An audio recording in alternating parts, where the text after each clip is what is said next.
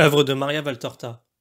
Tome 5, chapitre 326, intitulé Un séjour à Axib, le 11 novembre 1945. Seigneur, cette nuit j'ai réfléchi. Pourquoi veux-tu venir si loin pour revenir ensuite vers les confins de la Phénicie Laisse-moi y aller avec un autre. Je vendrai Antoine.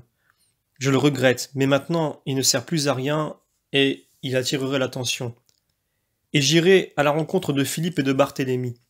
Ils ne peuvent suivre que cette route-ci. Je les rencontrerai à coup sûr, et tu peux être sûr que je ne dirai rien. Je ne veux pas te faire de la peine, moi.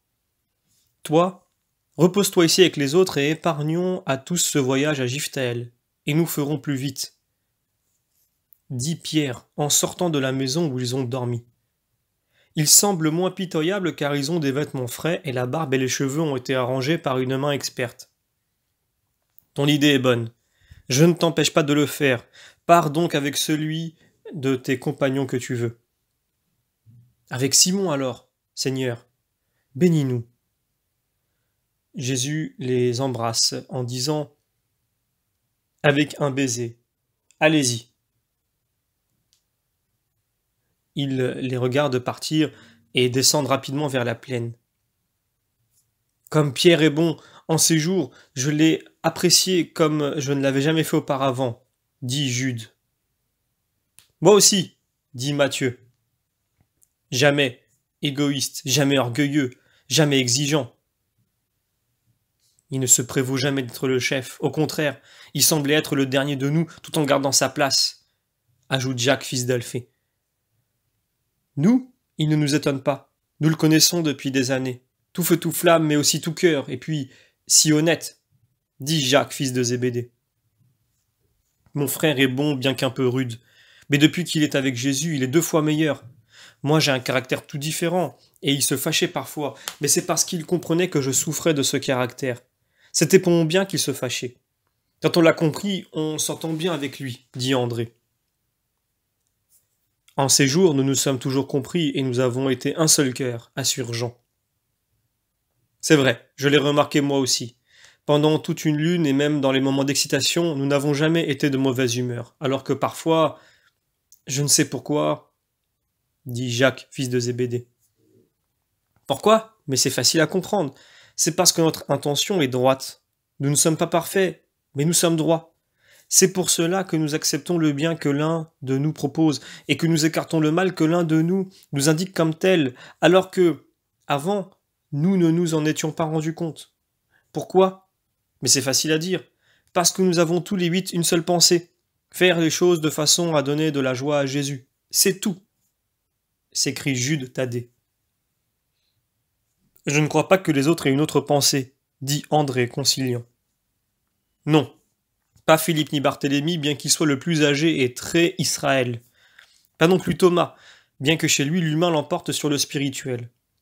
Je leur ferais tort si je les accusais de Jésus. Tu as raison. Pardon, mais si tu savais ce que c'est pour moi de te voir souffrir, et à cause de lui, je suis pour toi un disciple comme tous les autres, mais en plus, je suis pour toi un frère et un ami, et j'ai en moi le sang fougueux d'Alphée. Jésus, ne me regarde pas avec sévérité et tristesse. Tu es l'agneau et moi le lion. Et sois sûr que j'ai du mal à me retenir de déchirer d'un coup de patte le réseau de calomnie qui t'enveloppe et d'abattre l'abri où se cache le véritable ennemi. Je voudrais voir la réalité de son visage spirituel auquel je donne un nom, et peut-être est-ce une calomnie, et si j'arrivais à le connaître sans risque d'erreur, je le marquerais d'un signe ineffaçable qui lui ôterait pour toujours l'envie de te nuire. Jude dit tout cela avec véhémence, bien qu'au début Jésus l'ait retenu par un coup d'œil. Jacques, fils de Zébédée, lui répond. Tu devrais marquer la moitié d'Israël, mais cela n'arrête pas Jésus. Tu as bien vu en ces jours s'il y a quelque chose qui puisse s'opposer à Jésus. Qu'allons-nous faire maintenant, maître? As-tu parlé ici? Non. J'étais arrivé sur ces pentes depuis moins d'un jour. J'ai dormi dans la forêt. Pourquoi n'ont-ils pas voulu de toi? Leur cœur a repoussé le pèlerin. J'étais sans argent. Ce sont des cœurs de pierre alors. Qu'est-ce qu'ils craignaient? Que je sois un voleur. Mais peu importe. Le Père qui est aux cieux m'a fait trouver une chèvre, égarée ou en fuite. Venez la voir, elle vit dans le sous-bois avec son chevreau. Elle ne s'est pas enfuie en me voyant arriver. Au contraire, elle m'a laissé traire son lait dans ma bouche. Comme si j'avais été son petit, moi aussi. Et j'ai dormi auprès d'elle avec son chevreau presque sur le cœur. Dieu est bon pour son verbe. Ils vont à l'endroit où il était la veille, dans un fourré épais et épineux. Au milieu se dresse un chêne séculaire. Je ne sais comment il a pu vivre.